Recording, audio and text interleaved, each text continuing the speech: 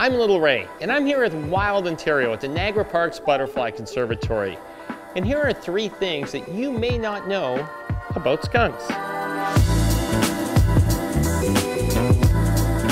A lot of people don't realize that skunks' number one natural predator are great horned owls. This animal's nocturnal, owls are nocturnal.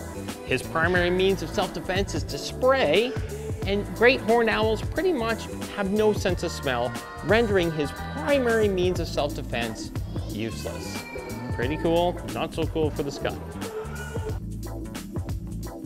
Hey, you're probably wondering why this skunk isn't spraying me. Well, clover is actually descented, but even skunks in their natural habitat are very resistant to spray.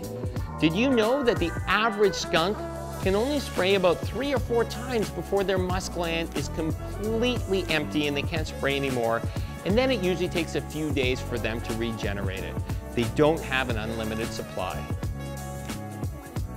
Striped skunks actually have the largest range of any species of skunk in the world found from pretty much the northern parts of Mexico, right throughout the United States and all of Canada, certainly all of Ontario, and right up into the southern parts of the Yukon and the Northwest Territories.